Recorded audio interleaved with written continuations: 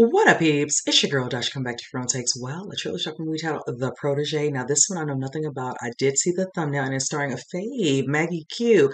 I love me some Maggie Q. She's been in many things that I love. I know she just did um a recent, I want to say, thriller, Death of Me, but I love when she does TV.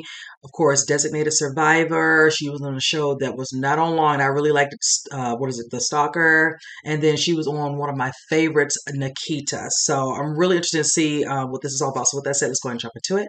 Say the rest of my thoughts and then you guys. Most people are good.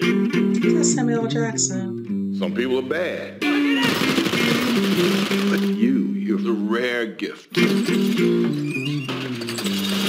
So get in and get out. you can always think on your feet anyway. Not so much tonight. We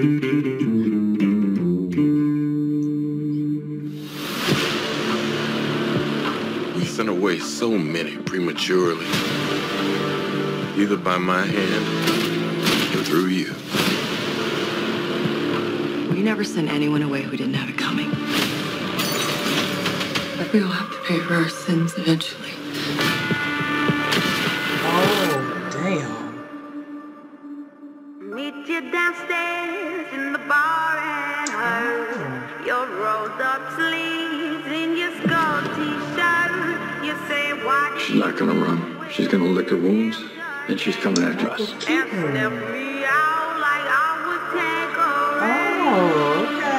Someone killed a friend of mine because of a contract he completed years ago. Oh yeah? You could be answers. I'll be the last thing you ever see.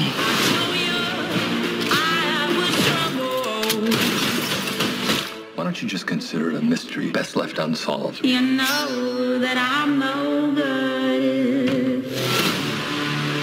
You keep this up, you're gonna die. I just wanted to end their life. And anyone standing in my way. You're intrigued by her. Curious. Nice. It was bad manners. No.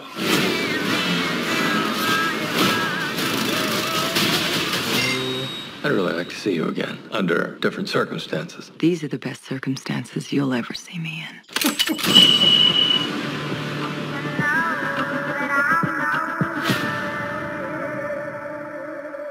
All right, you guys, I really did enjoy this trailer. One thing that sold me was the fact that it's by the director of Casino Royale.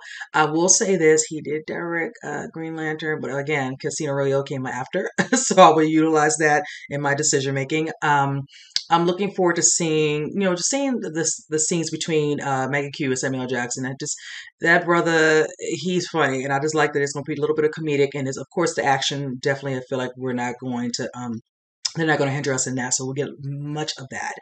I'm definitely looking forward to seeing um, her working with uh, Michael Keaton's character. I think they're going to kind of form some sort of you know, alliance to kind of go out and figure out who is the one that's behind the murder of Samuel L. Jackson's character, and that should be interesting. And all the way along the trail, of course, that's where we're going to get all of the you know the fight sequences with Maggie Q. I like the scenes where they're showing her you know fighting with Keaton's character, and like can tell he's intrigued by her, and then wanting to get to to know her a little bit better under better circumstances. Like, bruh, she's not here for all that. She's here to find out who did what so she can deal with them and go about her business. So I'm really here for, like I stated, Maggie Q. This type of film is always up her alley because it just reminds me of the way she did certain scenes in uh, the show Nikita. So her, you know, of course, the wig, the look, you know, the fights, whichever you know, and she's done, of course, other movies. Of course, she was in Mission Impossible. I can't remember which one it was, which number in uh, the the full out um, series, but definitely was good in that. Like I said, you know, a lot of films she did was a Divergent, so she definitely knows her action. I'm here for it. I look forward to seeing Jackson and definitely watching Keaton. All three of them, I love them all. So with that said, comment below. Let me know what you think. And with that said, I'll see you guys in the next reaction. You guys take care.